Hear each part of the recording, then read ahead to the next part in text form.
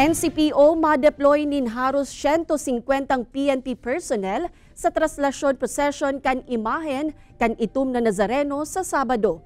Barangay officials piglalaoman man na magruso kan pagruso pa kan dakul na deboto ngunya na taon. Uya ang report ni Rosie Nieva. Duwang aldaw antes ang gigibuhon na traslasyon posesyon kan imahen kan itom na Nazareno sa siyudad ni Naga. Preparado na ngunyan ang security measures na ilalatag kan kapulisan. Sa Sabado kaya Enero 8, gigibuhon ang traslasyon gikan sa Holy Cross Parish sa Barangay Tabuco, pasiring sa Plaza Quezon. Asin huli sa haluwag na ang restriction sa ngunyan, piglalauman kan mga otoridad ang pagruso kan kadakol ng mga deboto sa siyudad.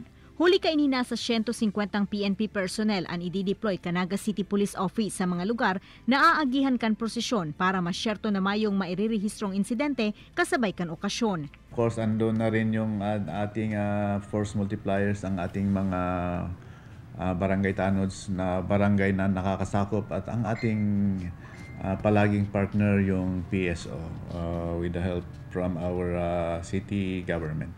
Sa partiman kan barangay, preparado naman ang mga barangay officials asintanod na makakatabang kan kapulisan asiniba pang otoridad sa nasambitan ng aktibidad.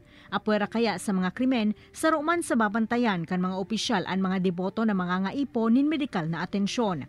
A continue monitoring kami in case na mayroong in case na kung igwang in eventuality ready man kita kung halimbawa may mga may mga dire-disgrasya dyan na minor man lang, igwa dyan sa BSW.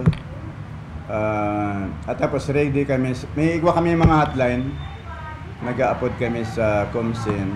Naglalao man ang mga otoridad na magiging solemne asin matuninong ang kabilugang selebrasyon kan kapistahan kan itom na Nazareno ngunya na taon. Kaibanan si Jovel Obiso, Rosie Nieva, Baliktang Bicolandia.